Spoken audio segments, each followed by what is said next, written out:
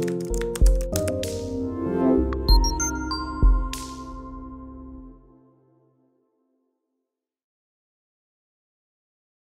So இது வரைக்கும் நம்ம பேஜை சப்ஸ்கிரைப் பண்ணாதவங்க கீழே இருக்க ரெட் பட்டனை சப்ஸ்கிரைப் பண்ணிட்டு பக்கத்தில் இருக்க பெல் ஐக்கான மறக்காம ப்ரெஸ் பண்ணிக்கோங்க.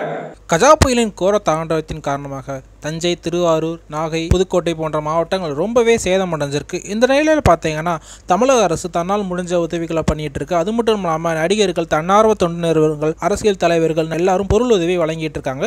இந்த நேரத்தில் நேற்று புதுக்கோட்டை மாவட்டத்தில் மக்களை சந்தித்த கஸ்தூரி அவங்களுக்கு தேவையான பொருளுதவி எல்லாமே பண்ணியிருக்காங்க. அது மட்டும் இல்லாமல் செய்தியாளர் சந்திப்பில் வந்து விஜயகாந்த் கொடுத்த நிதியுதவியை பற்றி கேட்கும்போது அவங்க என்ன சொல்லியிருக்காங்க அப்படின்னு பார்த்தீங்கன்னா எப்போவுமே விஜயகாந்த் அவர்கள் அரசியலுக்கு வருவதுக்கு முன்னாடியே சினிமாவில் இருக்கும்போதே விஜயகாந்த் அவர்கள் ரொம்பவே தாராள மனசுக்காரர் ரொம்பவே உதவி பண்ணுவார். பொருளுதவி மட்டும் இல்லைங்க நிறையா படம் ஃப்ரீயாகவே நடிச்சு கொடுப்பாரு.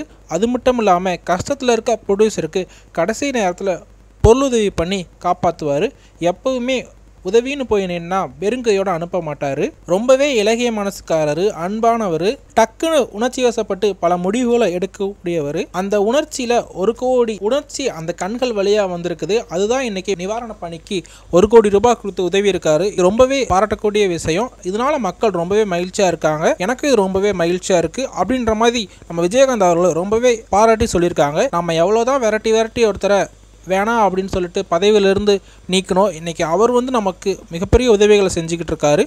ஸோ அவருடைய நல்ல மனசுக்கு அவரை நம்ம வாழ்த்துவோம். கஸ்தூரி சொன்ன இந்த தகவலை பற்றி உங்களுக்கு என்ன தோணுது? விஜயகாந்த் அவர்கள் நல்ல மனசை பற்றி என்ன நினைக்கிறீங்க? அப்படின்றத கீழே கமெண்ட்டில் சொல்லுங்கள் இந்த தகவல் பிடிச்சிருந்தா லைக் பண்ணுங்கள் ஷேர் பண்ணுங்கள் கமெண்ட் பண்ணுங்கள் மறக்காமல் நம்ம சேனலை சப்ஸ்கிரைப் பண்ணுங்கள் உடனடியான தகவலுக்கு அந்த பெல் ஐக்கானை ப்ரெஸ் பண்ணுங்கள் தேங்க்யூ